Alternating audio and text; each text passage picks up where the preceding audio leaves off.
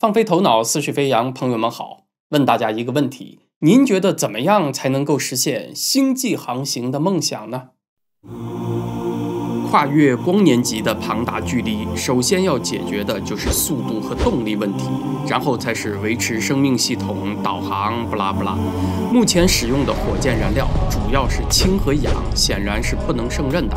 它们提供的推力值太低，自己又太重，体积太大，飞船不可能携带如此多的燃料完成跨越光年的远征，所以就必须思绪飞扬，从别的思路出发考虑了。我们之前介绍过零点真空能、超导磁悬浮动力以及压缩空间的曲速引擎。今天要讲的是一个离人类最近、最有可能突破的太空旅行方式——光帆动力。二零一六年，轮椅上的物理大咖霍金出席了纽约的一个新闻发布会，宣布一个叫“突破射星”的计划开始启动，激动人心呐！这个计划要把一支由一千艘太空船组成的舰队送到离地球四点二七光年之远的半人马座阿尔法星上。这一千艘星舰都装备了光帆动力系统。对，您没听错，是一千艘太空船，听起来很夯吧？只不过这个太空船和您想的可能不太一样，放在后面来解释。为啥选半人马座的阿尔法星呢？因为欧洲南方天文台宣布，根据天文台的观测，这个三星系统有一颗位于恒星宜居带的地球2.0行星。我们在上一期节目已经讲过了什么是恒星宜居带，这里就不重复了。霍金说，如果用化学动力，就是常规的火箭燃料，从地球到阿尔法行星需要跑七到十万年的时间，但是如果用光帆动力，只需要二十年，提速三千倍以上啊！就是说，如果阿尔法三星系统有一颗适合人类居住的星球，那我们不就可以在有生之年移民太空了吗？这想想都很让人激动啊！那什么是光帆？它又如何发挥作用呢？我们得从2017年的一起天文学界的奇案说起。提起夏威夷旅游胜地，尽人皆知，四季如春，风景如画。可是不那么尽人皆知的是，在夏威夷的大岛上有一个全球知名的天文台，叫毛纳基山天文台，因为它修建在海拔四千二百米的休眠火山上，而且还地处太平洋的中央，没有任何城市的光污染，空气干燥，可以说是世界上最理想的。天文观测地，所以这里被十一个国家相中。从一九六四年开始，各国在这里陆陆续续投资超过了二十亿美元，修建起了十二座天文台，长枪短炮一起对准了太空，希望能够发现奇迹。美国空军也不落人后，在这里架起了两台叫“泛星一号”和“二号”的天文望远镜，目标很宏伟，就是要对全体天空的天体。进行天文测量和光度测量，事实证明，的确也有奇迹发生。二零一七年十月十九号，一个叫罗伯特·韦瑞克的天文观察员正在整理泛星一号和二号的资料。他拿起其中几张照片，突然发现太阳系里多出来了一个不明飞行物。当然，每年出现在太阳系里的不明飞行物多了去了，什么彗星、陨石，数不胜数。但这个物体很奇特，既不像彗星一样发光，又不像陨石一样到处乱窜，而是有特定的轨道。韦瑞克在演算了一下它的轨道之后，更懵了，因为这个物体的轨道像是解析几何里双曲线当中的一条。太阳系里所有的行星和彗星都是围着太阳转，运行轨道要不然是椭圆的，要么是圆的，还没见过这种双曲线形状的轨道。那这个不明飞行物是何方神圣呢？韦瑞克赶紧的把最近一个月的资料都翻出来，大致拼凑出了完整的信息。这个不明飞行物来自离太阳系二十五光年外的织女星，它像这样飞到太阳身边，然后扭头就来个华丽转身，以每小时一万多公里的速度脱离太阳而去。这个消息一发表出来，就像一枚重磅炸弹，无数天文台都把望远镜对准了太阳旁边。想找到这个天外来客，结果运气好的也只看到了他的背影，而且他早已飞到离地球三千多万公里之外了，快速的向飞马座飞去。等天文学家们想起给他起了个名字叫奥莫莫之后，他已经不见踪影了。奥莫莫是夏威夷语，意思就是侦察兵。之所以给他起这个名字，因为他可能是第一个可以确认的来自于太阳系之外的星际访客。全球天文学家对奥陌陌的兴趣还在于，它是太阳系出现的第一个双曲线轨道的迷你星体。天文学家们在收集了所有资料之后，得出判断，这就是一颗冰冻彗星。它不会发光，而且它的形状是长条形的雪茄状，这么一块大石头。看到天文学家们给出的概念图，哈佛大学的一位天文学家阿维勒布都给气笑了，因为他觉得这完全就是一种强词夺理的解释，一派胡言。补充一下，勒布也是美国人文科学院的院士，在天文物理学界也说得上是声望崇高。勒布就坚定地认为，奥陌陌绝不可能是一颗冰冻彗星。首先，如果是冰冻彗星，那么奥莫莫上应该既有冰又有碳。当它飞到近日点，就是距离太阳三千八百一十万公里以内的时候，在这么近的距离下，奥莫莫上的冰就应该开始蒸发，成为气体和尘埃，变成彗尾。奥莫莫周围的气体中会有大量的二氧化碳，这时奥莫莫的质量。起码应该减少了十分之一，但实际情况是，奥莫莫飞越近日点的时候，天文学家在它周围压根儿就没有检测到二氧化碳，而且奥莫莫从头到尾也没有质量的损失。第二，奥莫莫的概念图在勒布看来也很不真实，图里的奥莫莫是一个雪茄状的长条形，长大约两百米，宽三十米。高三十米，但是根据奥莫莫的所有数据，欧洲南方天文台计算出奥莫莫的形状应该是这样的，是一个高与直径比大约一比十的蝶形椭圆形状，绝对不是一个雪茄状。加拿大麦克马斯特大学的天体物理学家马申科博士根据搜集到的数据，分析了所有可能的亮度模型，得出的结论是奥陌陌是雪茄状的可能性只有百分之十六。而它是圆盘形的可能性高达百分之九十一。再有就是奥莫莫奇特的飞行轨道，如果它是太空中的一颗彗星或者行星，以它这么小质量，在穿越火星、地球、金星和水星轨道的时候，或者在离太阳只有三千八百一十万公里的时候，很难不被太阳或者其他行星的引力拉走。但奥莫莫不仅没有被拉走，而且就像有自动驾驶功能一样，在飞越近日点之后的一段还越飞越快，有加速。奥陌陌的表面材质也非常特殊，当它飞过太阳的时候，对阳光的反射率是一般彗星或者小行星的十倍，说明它的表面材料是金属材料或者是其他反光材料，不是我们一般所想的岩石。大家看这几点啊，它能自动驾驶。表面材质是反光材料，还是薄薄的圆片形状？根据这几个特点，勒布断言奥莫莫既不是行星，也不是彗星，是什么呢？是一艘有四个足球场大的大型外星战舰。它长成这样。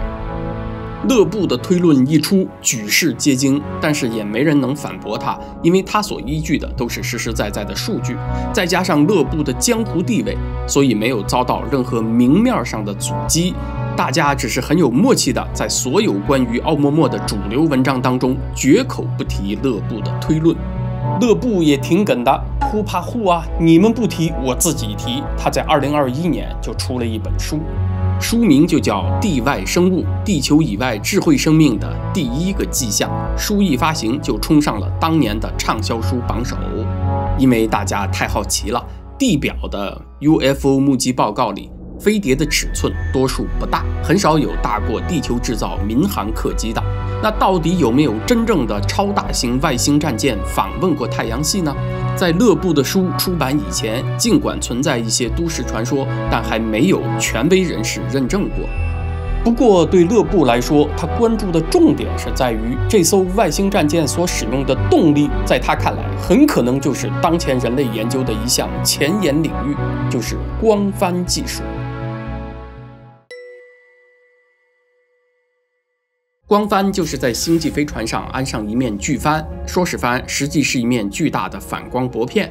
这面帆能利用太阳或其他恒星的光压产生动力，和风力推动风帆的原理类似，所以叫光帆。这样太空船就不用靠自己携带的燃料来提供动力了，就可以在星际之间畅游了。简单介绍一下光压的概念。光是由被称为光子的粒子组成的。当光子击中一个物体的时候，会施加一个极其微小的压力，就像把一颗沙子扔到人身上，人不会有任何感觉。但是如果把一把沙子甩到一张丝巾上，丝巾就能感觉出压力了。那光压呢，也是这个原理，把这种压力转换成飞船的动力，飞船就可以畅游星海了。光帆的材料和三维设计都非常讲究。光帆的表面积越大，那接受到的光压也就越大，它的加速也就越快。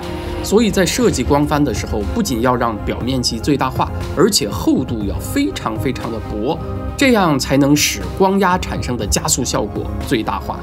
勒布在研究奥莫莫的运动轨迹的时候，发现奥莫莫在经过近日点以后突然加速离开，它的加速方式又是平滑稳定的。而且它的加速度和离太阳的距离平方成反比。简单的说，就是离开太阳越远，加速度就越低。那这种加速方式就非常像依赖太阳光的光帆系统。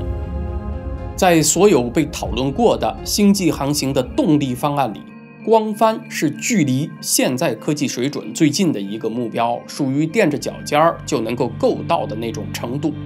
这也是科幻小说《三体》里面所构想的一种实用的星舰动力，可不是吗？太空中的光取之不尽，用之不竭啊！现实中成功的光帆试验也已经有了，是日本在2010年发射的伊克洛斯太空探测器。伊克洛斯的光帆大约是14米长、14米宽的方形，用这个光帆做动力的飞行器花了六个月飞到金星附近，完成了各项测试。用光帆做动力的星舰，理想的速度大约能达到光速的五分之一啊，也就是每秒钟飞行六万公里。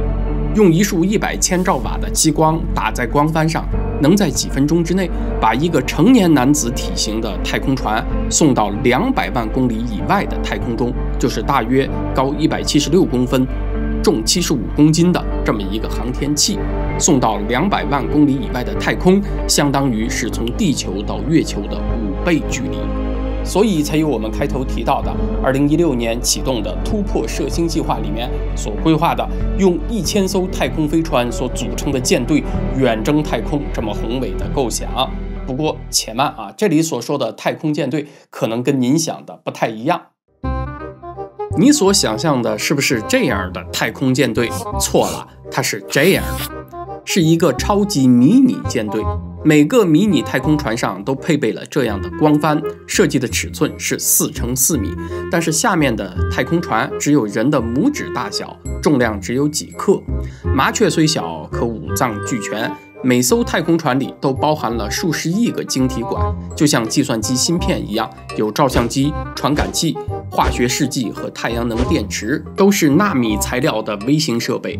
在登陆阿尔法行星以后，可以把星球上的一切信息通过无线电发回地球。这就算当前人类能力范围之内最庞大的远征计划了。您也别觉得丧气。哥伦布在一四九二年发现美洲的时候，他的旗舰圣玛利亚号只是排水量一百吨出头的小船。今天不少渔船都比它个头大。船虽然小，看着很磕碜，但是它的意义很重大。迷你太空舰队的计划虽然很完美，但是要实施仍然有困难，因为要把这样一支规模的舰队送入太空所需要的能量。总功率大约是一百千兆瓦，那就需要在地球上修建大型的激光库，一束激光要连续发射两分钟，才能把一艘迷你光帆太空船送入太空。之后，太空船就可以依靠太阳或者是其他行星的光自己飞行了。难度在于在这两分钟之内，激光束必须准准地打在光帆上，如果偏了，打在了太空船上，那就完蛋了，整个机毁人亡。所以霍金计划了一千艘迷你太空船，那就看幸存下来的能有几艘。突破射星计划目前仍然在推进中，不过它离载人星际飞行的目标还是挺远的。载人飞船所需要的那个光帆的尺寸，说出来吓死人。根据 NASA 专家的估计，一艘载人飞船它用的光帆长和宽都要在几百公里，重量在一百万吨左右啊。尼米兹航母才九万九千吨呢。那这么大的飞船是没办法在地球上建造的，只能把部件发射到太空中，在太空中完成组装。而且这个光帆的材质还必须是一种超薄的、类似钻石的材料。要启用这种巨无霸星舰，需要调动整个太阳系的资源，比如在水星附近修建激光库，在火星上装激光炮，甚至在太阳系边缘奥尔特云里的彗星上都得装上激光炮。总之呢，得把整个太阳系玩得溜溜转，才能实现光帆动力的载人星际航行。而且飞船的速度呢，也没有那么快，得要一百年才能飞到半人马座。而且飞船上还得装备电磁降落伞做刹车用，不然飞过了目的地也回不了头。怎么听？按照现在这个思路走下去，光帆载人星际航行实在是很难实现。嗯哼，所以天文学家勒布在看到奥莫莫的数据之后才会很激动。在他看来，外星文明早就可以把大型光帆动力的星舰送入太阳系了啊，已经掌握了这方面很成熟的技术。能不能给人类的光帆技术一个很好的启发呢？那还需要对奥莫莫更多的研究。另外，光帆动力虽然在我们看来已经先进的不要不要的，最快能够达到光速的百分之二十，但是对于上百光年的航程来讲啊，它仍然显得太慢。还不排除这样一种可能，就是大型星舰级的 UFO，它们所使用的动力是多种方式混合的。